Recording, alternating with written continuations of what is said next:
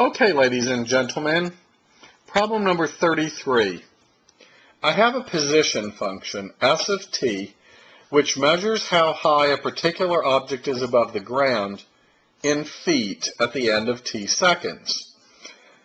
s of t equals the opposite of 16 squared plus 80t, 80t plus 100. t is time in seconds, and s of t is the height above the ground in feet. Part A wants to know the maximum height reached by this object, golf ball, rocket, whatever it is. Part B wants to know at what time it reaches this height. At what time does it reach this height? Well, keep this in mind. This position function represents a parabola because it's degree 2 whose leading coefficient's negative. So it opens down where is the maximum going to occur? Well, of course, it will occur at the vertex. So what we're really being asked to locate here is the vertex. A is a negative 16, B is a positive 80, and C is 100. Okay? A is negative 16, B is 80, and C is a positive 100.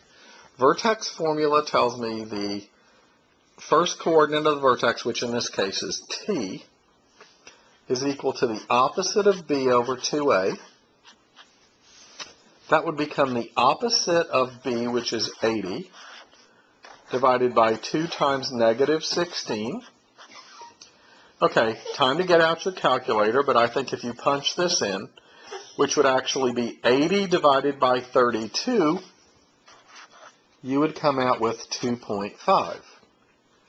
Now, we have an answer to part B.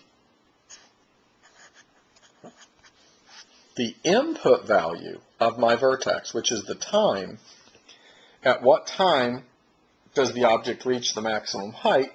Our answer, we already know, is 2.5 seconds.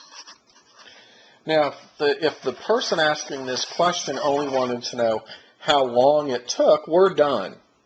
But part A said what was the maximum height. So in order to find the maximum height, what we need to do, okay, is we need to take 2.5 and plug it into the function. So we need to find s of 2.5. So we have a negative 16 times 2.5 squared plus 80 times 2.5 plus 100. Now, when I do that computation, um, when we take 2.5 and square it and multiply it by negative 16 on a calculator, we get a negative 100. Plus 80 times 2.5 is 200. And of course, we have the 100 at the end.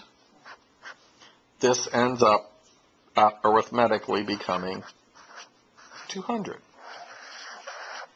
And of course, remember, that's the output, the second coordinate of the vertex, and that represents my maximum height. My maximum height is 200 feet. And we're done.